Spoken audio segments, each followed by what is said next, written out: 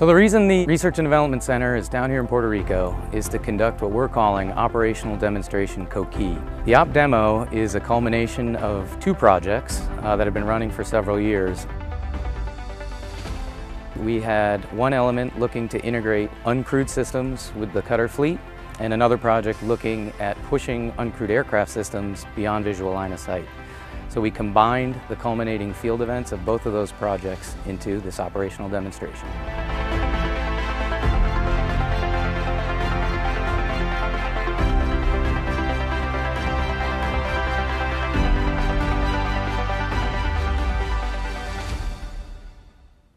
So the vessel behind me is known as uh, 26 RDC. It's been outfit with an optionally crewed conversion, so it can be operated by a crew.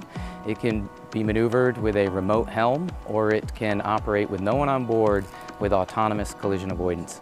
The sensors on board are networked so that uh, crews ashore can make use of that data and provide it to other assets participating in the mission.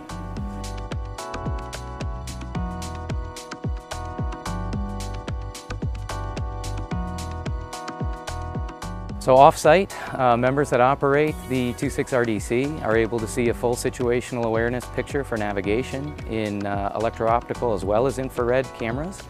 They're able to investigate targets with the radar and auto-slew the uh, FLIR camera based on that radar picture. They can program waypoint missions with the collision avoidance activated. Uh, they can operate manually uh, and we can even do some uh, teaming with other uncrewed assets like uncrewed aircraft systems.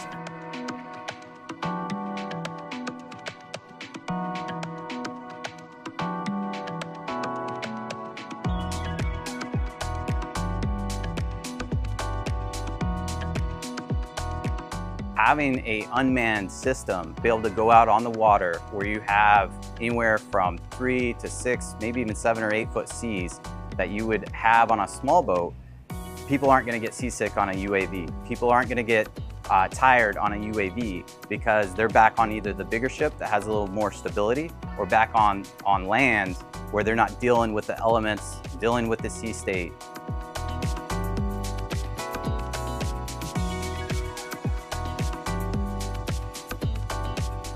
It's another means that the U.S. Coast Guard has out on the water, whether it be for search and rescue, law enforcement, pollution. Uh, numerous of our mission sets can be utilized uh, out in the water for all the, the operational commanders out here, uh, both in Puerto Rico, but also in the States. Operation COQUI is, is very important because it allows us to test capabilities and advancements of new technology that's out there that the Coast Guard isn't currently operating and allow us to find efficiencies and things that we're already doing in ways that we can do them better.